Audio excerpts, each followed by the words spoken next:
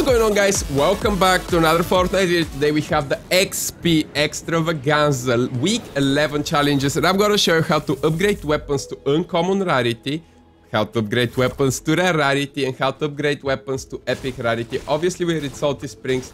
Now there is a few things you gotta do and you gotta follow this video very carefully because obviously you wanna do it in one go I guess. So the rumors, we don't have actual leaks, it says that it's gonna be 5 weapons that you gotta upgrade of each type. So basically you would have to actually get 5 green, 5 gray, 5 blue weapons and then go to the location. Now this is kinda, it's gonna be a little bit hard so we're just gonna do it with 3 just to show you. But anyways, you gotta make sure that you pick up any materials on the way there because obviously you're not gonna have enough materials once you get to the upgrade bench you would definitely need some more.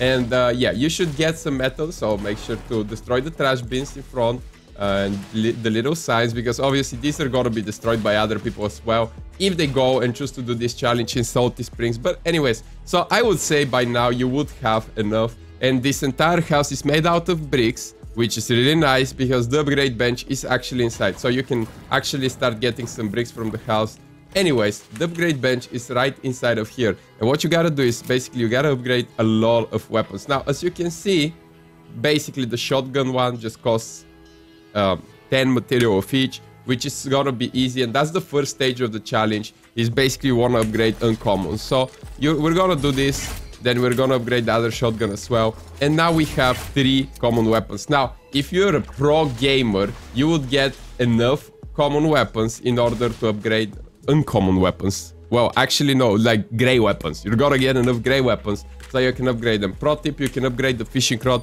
and it upgrades directly to blue. Uh, but anyways, now if you, let's say you had five grays, you made them five uncommon green and then you can literally, if you have enough materials, you can directly upgrade the 05 to the next thing. So it's basically worth it to go end game once you have a lot of materials and you've eliminated people and just upgrade all your gear to purple. And yeah, as you can see, then we get to upgrade it to purple, but it requires 150 brick. And in a real game, that's gonna take a while to get.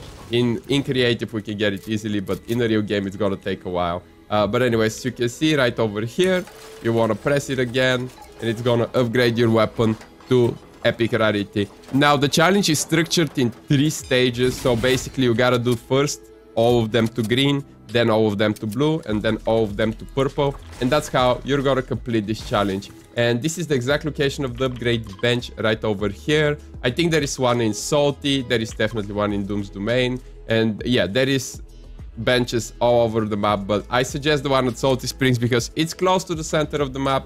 Not too many people drop here, and it's a good location where you can find a lot of loot that you can just keep upgrading like this.